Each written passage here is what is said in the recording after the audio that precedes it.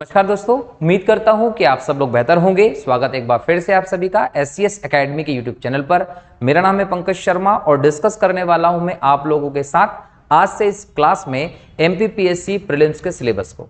MPPSC prelims का syllabus देखें दोस्तों तो पूरा पैटर्न अभी कुछ बदला है। और जो पैटर्न बदला है या सिलेबस में चेंजेस आए, उस सिलेबस के तहत हम देखें तो पहले की ही दस यूनिट तो हैं, लेकिन इसमें जो डेटा है, उसमें बदलाव हुआ है। उसमें हम अगर पहला यूनिट देखें तो पहले यूनिट में इतिहास की व्यवस्था है पूरी और इस इतिहास के सिलेबस में कुछ चेंजेस आए हैं। तो आज से हम इस क्लास में इतिहास का जो M P P S C prelims का सिलेबस है, उसको हम डिस्कस कर रहे हैं। रोज इसके लेक्चर्स अपलोड होंगे, जिसके माध्यम से हम M P P S C prelims 2024 के लिए प्रिलिम्स का जो सिलेबस है, उसको कंप्लीट करेंगे दोस्तों। और आज के इस क्लास में हम लोग पहला टॉपिक डिस्कस करेंगे इसका, जो है प्राचीन भारतीय ज्ञान परंपरा, सिलेबस में इस बार जो बदलाव हुआ है, उसके बाद आपको जो पहला टॉपिक दिया है इन्होंने, वो दिया है प्राचीन भारतीय ज्ञान परंपरा, जिसके माध्यम से हम भारत की प्राचीन ज्ञान की व्यवस्था को समझेंगे दोस्तों। ये टॉपिक इसलिए भी जोड़ा गया है क्योंकि 2020 में भारत की नई शिक्षा नीति आई और ये पूरा सिस्टम जो है, वो नई शिक्षा नीति के अनुरूप है। नई शिक्षा नीति में इस बात का खासा ख्याल रखा गया है। तो उसको देखते हुए इस बार आपके सिलेबस में भी ये टॉपिक जोड़ा गया है। ठीक है? तो चलिए शुरू करते हैं आज के इस लेक्चर को और समझते हैं प्राचीन भारतीय ज्ञान परंपरा की अवधारणा क्या है, विचार क्या ठीक है? जब हम प्राचीन भारतीय ज्ञान परंपरा की बात करते हैं दोस्तों तो इसके तहत हमको प्राचीन काल की शिक्षा व्यवस्था को देखना है। जब हम भारत की प्राचीनतम शिक्षा व्यवस्था को देखते हैं, दोस्तों तो हम इसे दो भागों में बांट कर देख सकते हैं। इसके दो दो भाग हैं, उसमें एक वैदिक काल और एक बौद्ध शिक्षा है। वैदिक काल की शिक्षा व्यवस्था अलग थी, बौद्ध काल की शिक्षा व्यवस्था अलग थी और प्राचीन भारतीय शिक्षा व्यवस्था जो है, वो इन दोनों कालों के अंतर्गत परिलक्षित होती है, दोस्तों, और धीरे धीरे करके इसका क्रमिक विकास हमें देखने को मिलता है। जब हम प्राचीन काल में वैदिक काल की और बौद्ध काल की शिक्षा व्यवस्था को देखते हैं तो इसको भी हम पुनः दो दो भागों में बांट सकते हैं। क्यों? क्योंकि वैदिक काल की जो शिक्षा, उसमें भी प्रारंभिक शिक्षा आपको पढ़ना पड़ेगा, उसके बाद उच्च शिक्षा की व्यवस्था थी।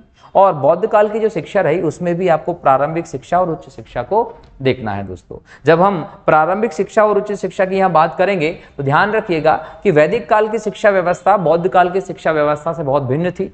कहीं ना कहीं जो व्यवस्था है, उसको हम पूरा समझने का प्रयास करते हैं। लेकिन ध्यान रखिएगा कि प्राचीन काल से ही भारत जो है, वो ज्ञान का, ज्ञान परंपरा का केंद्र रहा है। पूरी दुनिया में अगर सबसे पहले यहाँ का विकास हुआ है तो वो भारत में ही देखने को मिला है। और भारत से ये सारा ज्ञान दूसरे देशों को पहुँचा है, दूसरी ध्यान रखेंगे आप लोग। अब हम अगर प्रारंभिक शिक्षा व्यवस्था में जाएँ वैदिक काल की तो वैदिक काल की प्रारंभिक शिक्षा व्यवस्था दोस्तों ऐसी थी जो परिवार के माध्यम से होती थी। परिवार के माध्यम से जो शिक्षा दी जाती थी, प्रारंभिक शिक्षा होती थी वो वैदिक काल में। और इसके लिए याद रखिएगा कि जन्म से लेकर पाँच वर्ष, अगर हम जन्म से लेकर पाँच वर्ष तक की आयु देखें तो इस आयु में परिवार के माध्यम से जो मूलभूत बातें होती हैं, चीज़ें होती हैं नॉर्मल सा वार्तालाप आप बच्चे के साथ करते हैं, वो सिखाया जाता था। लेकिन जो शिक्षा का प्रारंभ होता था, वो होता था पाँच वर्ष की आयु के बाद। पाँच वर्ष की आयु में बच्चे का एक संस्कार होता था, जिसे कहते थे विद्या आरंभ संस्कार। ये जो विद्या आरंभ संस्कार होता था, इसके साथ ही बच्चे की शिक्षा का प्रारंभ होता था और पहले उसको प्रारंभिक शिक्षा दी जाती थी। अब ये विद्या आरंभ संस्कार में होता क्या था? विद्या आरंभ संस्कार में या तो परिवार का व्यक्ति या फिर परिवार का जो पुरोहित होता था या गुरु होते थे, उनके माध्यम से चावल के दानों पर बच्चों की उंगली से कोई वर्ण या अक्षर लिखवाने का प्रयास किया जाता था। जैसे बच्चा उंगली से चावल के दानों पर वो वर्ण लिख देता था तो वहीं से विद्यारंभ संस्कार पूर्ण होता था और यहाँ से बच्चे की प्रारंभिक शिक्षा पूरी हो जाती थी। अब समझना यह है ये जो प्रारंभिक शिक्षा ये कितनी अवधि तक होगी तो ध्यान रखिएगा, इसकी अवधि वर्ण के हिसाब से अलग अलग हम लोगों को देखने को मिलती है। जैसे अगर हम ब्राह्मण धर्म में बात करें तो ब्राह्मण का जो वर्ण रहा है, इसमें यह माना जाता था कि पाँच वर्ष से लेकर आठ वर्ष तक आपको ये देखने को मिलेगी। पाँच वर्ष में आपका विद्या आरंभ संस्कार होगा, आठ वर्ष तक जब तक कि आपका उपनयन संस्कार का समय नहीं आ जाता है, आपका प्रारंभिक शिक्षा चलता था। वहीं अगर हम ये क्षत्रिय कुल में बात करें तो क्षत्रिय वर्ण में ये देखने को मिलता है आपको पाँच वर्ष से ग्यारह वर्ष। क्यों? क्योंकि क्षत्रिय में 11 वर्ष के बाद आप उच्च शिक्षा की तरफ़ प्रवेश करते हैं। और अगर हम वैश्य में बात करें, दोस्तों तो यहाँ पर हमें देखने को मिलता है पाँच से लेकर लगभग 12 वर्ष की स्थिति। तो ये विद्या आरंभ संस्कार के बाद प्रारंभिक शिक्षा की व्यवस्था थी, जो भारत में हमें प्राचीन काल में देखने को मिलती थी। अब जिस विद्यार्थी की, जिस बच्चे की प्रारंभिक शिक्षा हो जाती थी, दोस्तों, उसे उच्च शिक्षा प्राप्त करना होता था। अब उच्च शिक्षा अगर आपको प्राप्त करना है तो उच्च शिक्षा आपको घर पर नहीं दी जाती थी। उच्च शिक्षा आपको कहाँ जाकर प्राप्त करनी होती थी? गुरुकुल में। जैसे आज के समय में हम देखें हैं। तो उच्च शिक्षा प्राप्ति के लिए आपको कहाँ जाना पड़ता है? कॉलेज जाते हैं आप, यूनिवर्सिटी जाते हैं आप, बराबर है कि नहीं है? तो ऐसे में आपको गुरुकुल जाना होता था। घर से लगातार कई वर्ष दूर रहकर गुरुकुल में ऋषि मुनियों के माध्यम से ये शिक्षा प्राप्त होती थी। ध्यान रखिएगा, गुरुकुल का एक माहौल था जहाँ पर विद्यार्थी को गुरुकुल की उस अवस्था में अपने सभी चीज़ों का पालन करना होता था। वो कैसे, उसको हम समझते हैं जरा कि गुरुकुल में आप जाएँगे, गुरुकुल में जब जाते थे तो उसके लिए एक प्रक्रिया होती थी जिसको आप उपनयन संस्कार कहते हैं। उपनयन संस्कार जो है वो किया जाता था। इसे आप जनेऊ संस्कार के नाम से भी जानते यज्ञ पर भी धारण करवाया जाता था। और प्राचीन काल में अगर हम ऋग्वेदिक काल की बात करें खासकर तो यहाँ पर एक इंपॉर्टेंट चीज़ को ध्यान रखना है, वो ये कि उस समय उपनयन संस्कार का अधिकार सभी को था, स्त्रियों को भी उस समय उपनयन संस्कार का अधिकार था। स्त्रियाँ भी अधिकार की कहीं ना कहीं हकदार थी, ये ध्यान रखिएगा। अब यहाँ उपनयन संस्कार जो हुआ, इसकी भी वर्ण के हिसाब से अलग अलग आयु तय थी। अगर उपनयन संस्कार की बात करें तो ब्राह्मण में ये उपनयन संस्कार की आयु थी आठ वर्ष। क्षत्रिय में अगर हम चले जाएँ तो इसमें आपको देखने को मिलता है ग्यारह वर्ष। और वैश्य अगर वर्ण में चले जाएँ तो यहाँ पर उपनयन संस्कार होता था बारह वर्ष। और इस समय से लगभग पच्चीस वर्ष तक, जब तक आपका ब्रह्मचर्य का जीवन चलेगा, आश्रम व्यवस्था में मैं ये भी पढ़ाऊँगा तो 25 वर्ष तक आप लगातार क्या कर रहे हैं, शिक्षा ग्रहण करते थे, बाहर गुरुकुल में रहकर। जब बच्चा गुरुकुल में रहता था तो उसे गुरुकुल के सभी मर्यादाओं का पालन करना पड़ता था। गुरु जी की सेवा हो, वहाँ के काम में हाथ बैठाना हो, सुबह जल्दी उठना हो, रात्रि में जल्दी सोना हो, ये सभी जो दैनिक दिनचर्या थी उसका पालन करना होता था, उस समय गुरुकुल व्यवस्था में ध्यान रखेगा, जो भारत की प्राचीन शिक्षा व्यवस्था का आधारभूत व्यवस्था थी, दोस्तों, ध्यान रखना, ठीक है? तो यहाँ उपनयन संस्कार हुआ। उपनयन संस्कार करने के बाद बच्चा गुरुकुल जाता था, गंजा कर दिया जाता था छोटी रख दी जाती थी, गुरुकुल में शिक्षा पद्धति शिक्षा प्राप्त करते थे। लेकिन उच्च शिक्षा में शिक्षा काय की दी जाती थी? तो यहाँ पर एक समय के बाद वेदों का ज्ञान प्राप्त करना होता था बच्चों को। जो भी स्टूडेंट छात्र वहाँ रहते थे, उनको वेदों का ज्ञान दिया जाता था दोस्तों। और वेदों के ज्ञान में भी यहाँ पर, वेदों के ज्ञान के आधार पर यहाँ पर उनकी उपाधि तय होती थी। जैसे आप लोग देखते हैं कि कोई व्यक्ति मैट्रिक पास है, ट्वेल्थ पास है, डिग्री होल्डर है एंड ग्रेजुएट है, कोई व्यक्ति ऐसा होता है जो पोस्ट ग्रेजुएशन किया हुआ होता है, किसी को डॉक्टरेट की उपाधि होती है, या आपकी शिक्षा व्यवस्था के आधार पर आपको उपाधियाँ मिलती है। वैसे ही पहले के समय पे वेदों के ज्ञान के आधार पर ही उपाधि मिलती थी। जैसे समझने के लिए कि अगर किसी को एक वेद का ज्ञान है तो उसको बोला जाता था एक वेद के ज्ञान वाले व्यक्ति को जनरली यहाँ पर बोला जाता था स्नातक। अगर आपको एक वेद का ज्ञान है तो आप स्नातक कहलाते थे।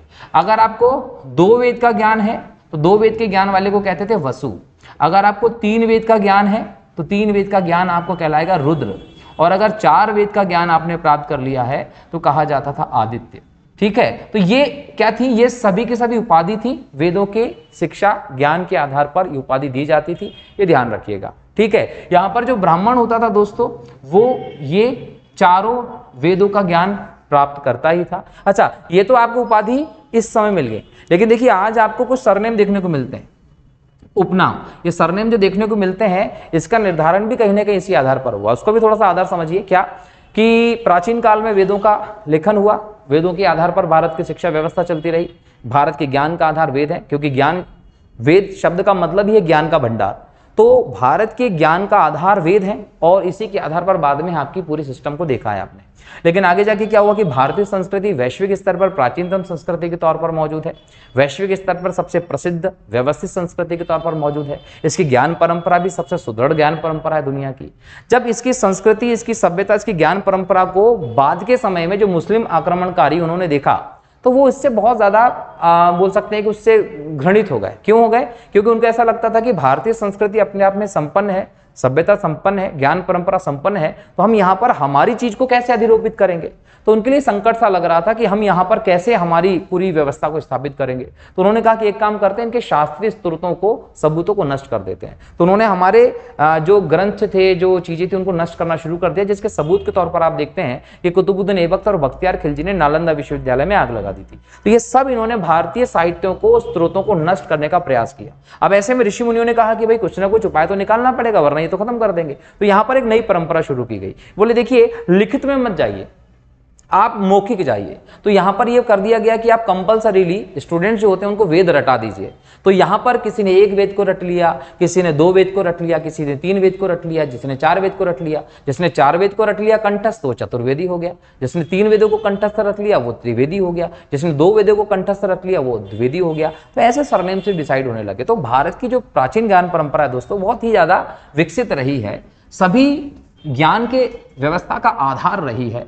प्राचीनतम ग्रंथ ऋग्वेद है, संस्कृत प्राचीनतम भाषा है, जिस भाषा में ऋग्वेद की रचना हुई थी। और सबसे वैज्ञानिक भाषा भी संस्कृत है, जिससे बाकी दूसरी भाषाओं का जन्म हुआ इसलिए संस्कृत को सर्व भाषाओं की जननी कहते हैं दोस्तों। तो यहाँ पर यह ध्यान रखना है कि ये वैदिक कालीन ज्ञान परंपरा रही, जिसमें वेदों को उच्च शिक्षा के तहत पढ़ाया जाता था। इसके बाद देखिए, दूसरा होता है बौद्ध काल की शिक्षा व्यवस्था। जब बौद्ध काल की शिक्षा व्यवस्था देखते हैं तो इसको भी दो भागों में बांटा गया है। बौद्ध काल की शिक्षा व्यवस्था में एक प्रारंभिक शिक्षा दी जाती थी, एक उच्च शिक्षा दी जाती थी। पैटर्न वही है, बस सिस्टम अलग मतलब एजुकेशन अलग होती थी थोड़ी सी वेदों की तुलना में। ठीक है? तो यहाँ देखिए कि प्रारंभिक शिक्षा इस काल में भी परिवार के माध्यम से की जाती थी। एक उम्र तक बच्चा जो होता था, परिवार से ही प्रारंभिक ज्ञान प्राप्त करता था, शिक्षा व्यवस्था में जाता था। जब वो इस काबिल हो जाता था कि दूर जाकर शिक्षा कर सके तो फिर उसे इस काल में भी शिक्षा के लिए भेजा जाता था। तो उच्च शिक्षा के लिए इस काल में बच्चा कहाँ जाता था? वो जाता था मठ में या विहारों में। जो मठ या विहार होते हैं जो मठ या विहार होते हैं, वो बौद्ध शिक्षा के केंद्र हुआ करते थे। जैसे हम देखें नालंदा विहार। नालंदा विहार उस समय में बौद्ध शिक्षा का दुनिया का सबसे बड़ा केंद्र हुआ करता था। तो मठ जो होते थे, जो विहार होते थे, विहार का एक्चुअल मतलब क्या है? जहाँ पर बौद्ध भिक्षु रहते हैं। भिक्षु के निवास स्थान को विहार कहा जाता था। तो यहाँ पर उच्च शिक्षा दी जाती थी। अब जिस प्रकार से गुरुकुल सिस्टम था, उसी प्रकार से विहार व्यवस्था चलती थी। लेकिन वहाँ आपको उपनयन संस्कार देखने को मिलता था। यहाँ पर जो इनमें प्रवेश के लिए व्यवस्था थी, वो थी प्रवज्जा या पवज्जा संस्कार? तो एग्ज़ाम में आप लोगों से क्वेश्चन पूछ सकता है कि पवज्जा क्या है? पवज्जा है बौद्ध मठों में या विहारों में उच्च शिक्षा के लिए स्टूडेंट्स के जाने की जो प्रक्रिया थी, जो संस्कार था, उसे आप पवज्जा या प्रवज्जा संस्कार के नाम से जानते हैं। तो ये बौद्धकालीन शिक्षा रही, इसके पहले हम लोगों ने वैदिक कालीन शिक्षा देखी। इसके बाद हम देखें, दोस्तों तो ध्यान रखिएगा कि हमारे यहाँ पर प्राचीन काल में शिक्षा के बहुत सारे केंद्र रहे हैं। जैसे अगर हम बात करें जबलपुर की बात कर ले, एक अच्छा केंद्र रहा है। हम श्री कृष्ण के गुरुकुल के तौर पर संदीपनी आश्रम उज्जैन को देखते हैं, जहाँ श्री कृष्ण ने शिक्षा प्राप्त की थी। ये हमारे प्राचीन कालतम और शिक्षा के केंद्र रहे हैं। उज्जैन एक बहुत बड़ा केंद्र रहा है। लेकिन इसके अलावा देखें, नालंदा बिहार में हो, विक्रमशिला हो, बिहार का वल्लभी विश्वविद्यालय, काठियावाड़ का श्रावस्ती हो, तक्षशिला हो, काशी हो, कश्मीर हो ओदंतपुरी विश्वविद्यालय पालों के समय बहुत चर्चित रहा। ये सभी के सभी हमारी यूनिवर्सिटीज हैं पुरानी जहाँ पर शिक्षा दी जाती थी। एग्ज़ाम में ये भी क्वेश्चन आप लोगों से पूछा जा सकता है क्योंकि कौन सा कहाँ है दोस्तों, ये ध्यान रखिएगा, ठीक? इसके अलावा हम देखें, काशी हो, मथुरा हो, उज्जैन हो, ये हमारे वैदिक कालीन शिक्षा की दृष्टि से देखें तो बहुत बड़े केंद्र के तौर पर दोस्तों देखे जाते थे तो इनको भी आप लोगों को ध्यान रखना, ठीक है? अगला है आपका कि भारतीय दर्शन के पक्ष। ध्यान रखिएगा कि भारत की जो प्राचीनतम ज्ञान परंपरा है, वही हमें भारत के दर्शन में परिलक्षित होती है। मतलब भारत के दर्शन इसी ज्ञान परंपरा पर आधारित है जो प्राचीनतम थी। क्यों? क्योंकि प्राचीनतम ज्ञान परंपरा में हमें वेदों का ज्ञान दिया गया और वेदों का धीरे धीरे करके आपने जब आगे बढ़ाया तो वहीं पर हम देखते हैं कि उपनिषद और बाकी सब चीज़ों का विकास होता है और वहीं से हम लोग दर्शन की व्यवस्था भी देखते हैं। यहाँ पर दर्शन क्या है? दर्शन शब्द जो है दोस्तों, एक प्रक्रिया है। दर्शन मतलब जब आप किसी चीज़ पर शोध करते हैं, जब आप किसी चीज़ पर विचार करते हैं, मनन करते हैं तो उस शोध की, विचार की मनन करने की जो प्रक्रिया उसको आप दर्शन कहते हैं। इसे हम मीमांसा की संज्ञा भी देते हैं, दोस्तों। क्या कहते हैं? मीमांसा की संज्ञा भी इसे कहते हैं। और मीमांसा की जब हम बात करें तो इसके हमें भारतीय संदर्भ में चार पक्ष देखने को मिलते हैं। तो अगर एग्ज़ाम में पूछा जाए कि मीमांसा के, भारतीय दर्शन के कितने पक्ष हैं तो भारतीय दर्शन के चार पक्ष हैं। चार पक्ष में पहला होता है तत्व मीमांसा। देखिए, तत्व मीमांसा जो होती है दोस्तों, इसमें कैसे शब्द जो है, इसका उत्तर मिलता है। मतलब ये है कि मान लीजिए हम ह्यूमंस का ही देख लें मनुष्य का शरीर है तो यहाँ पर यह बोला जाता है कि मनुष्य का शरीर किन किन तत्वों से मिलकर बना है। तो जिन तत्वों से मिलकर बना उस तत्वों की जानकारी जो है वो तत्व मीमांसा में प्राप्त की जाती है। ठीक है? ज्ञान मीमांसा में जब वो तत्वों का ज्ञान प्राप्त हो जाता है तो उसका ज्ञान को ही आप ज्ञान मीमांसा कहते हैं। ज्ञान के बाद आचार्य मूल्य, जो ज्ञान आप लोगों ने प्राप्त किया, उसका क्या मूल्य है, उसका क्या महत्व है, उसकी क्या उपयोगिता है, वही आपका कहलाता है आचार्य मूल्य मीमांसा। और अंत में तर्क मीमांसा का मतलब होता है कि तर्क तर्क वाद विवाद करते हैं जब आप, उस कर आधारित जब ज्ञान आपको मिलता है तो वो होता है आपका